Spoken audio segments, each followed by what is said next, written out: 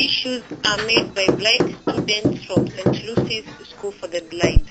Let's join some of them and see how they go about bearing in mind that they are visually impaired.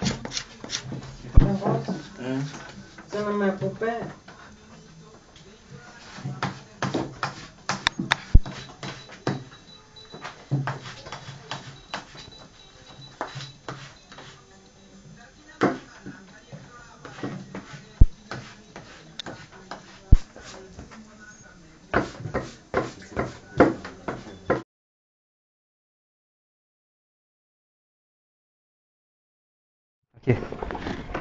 Here in the workshop, we make we make shoes, and uh, as you as you see, some here uh, there is a shoe which, which is complete.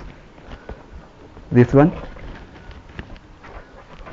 like um, some shoes we prepare them like this one, which I'm trying to do to to prepare it we do ba baskets?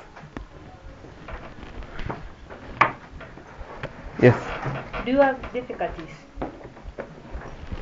difficulties when we when we do when we make these shoes sometimes you can be this needle can enter into your body.